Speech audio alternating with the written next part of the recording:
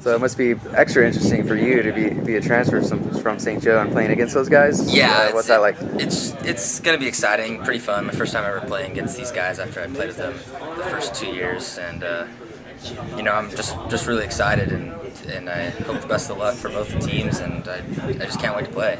That's pretty much what it is. Um, you guys have lost three in a row after winning the first two. Um, is it how important is this game for you guys to get back on track? Um, it's, in my opinion, it's it, this. It's either this game or you know this game depends on our whole season.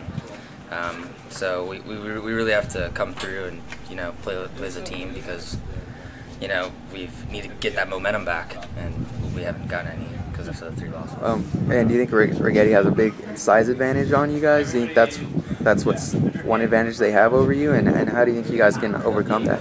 Yeah, they definitely have some big boys on that team. Um, oh, just for us to be able to beat that is with speed. That's, that's what we got to rely on. That's what we. That's what. Joe's always been about. Small guys.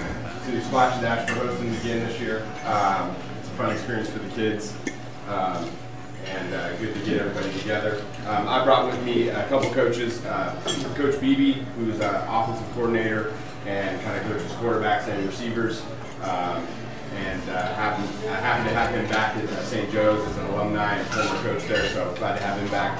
Uh, Pat Cusack also is uh, DB's coach and uh, does a lot of stuff for the program, uh, football and stuff in general. And then also, uh, Dan already left. Dan Cusack's a corners coach as well and kind of runs our uh, scout scout stuff. Um, players brought with me, uh, Gabe uh, slot receiver uh, and special teams guy. Um, Gabe has done a great job um, asking you know, the things we ask him to do. We get him at running back, uh, get him at receiver, and, uh, and uh, so he's done a real good We're here with St. Joseph senior running back Gabe Becerra. You guys are uh, hosting Righetti this week. Um, how big of a game is it? Kind of what's the mentality going into, into that game playing Righetti? one of the biggest games of the year. It's like a CIF game, preparing all week, and it's just going to be a big game.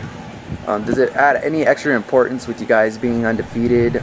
Um, you know, do you think Righetti might have some extra motivation to finally, you know, give you guys a first loss? Do you guys think about that that record? Our re- our record doesn't really matter because we would we prepare for them like we would any other team, and they probably do the same with us. So the record just doesn't doesn't really matter. Well, uh, good luck Friday. All right, thank you.